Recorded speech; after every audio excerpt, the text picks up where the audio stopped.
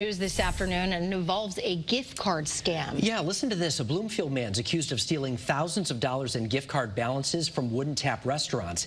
The issue created a lot of confusion and frustration with customers wondering where all their money went. Channel 3 Hartford Bureau Chief Aya Galal is joining us live now with the latest. Aya.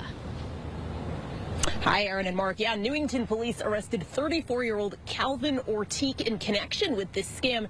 He's accused of redeeming more than $25,000 from those gift cards. And Ortique went before a judge today at New Britain Superior Court. He faces a number of charges, including computer crimes and also identity theft. Now, Calvin Ortique is accused of hacking into the system that managed loyalty and gift card numbers, then redeeming the values. He is from Bloomfield and works for the Connecticut Department of Transportation transportation.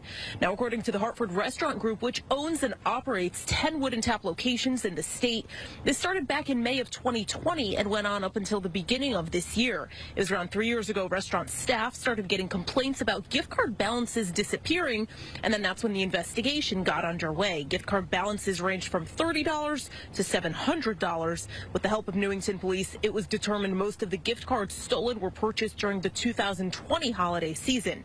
Now, we're told it was gift cards cards and dollar amounts targeted, not personal information, and Wood-n-Tap has taken several measures to step up security continually uh, increased our securities. We've isolated it. We know, we, we, feel very strong. We know where the, the challenges came from. And Newington police say there were other co-conspirators and more arrests could be coming in connection with this case. Now, Wood-n-Tap is urging anyone who purchased a gift card during that time frame to reach out to them so that they could get redeemed. We're going to have much more on this coming up on Eyewitness News at 6 p.m. For, for now, reporting live in Newington, Aya Galal, Channel 3, Eyewitness News. All right, Aya, thank you.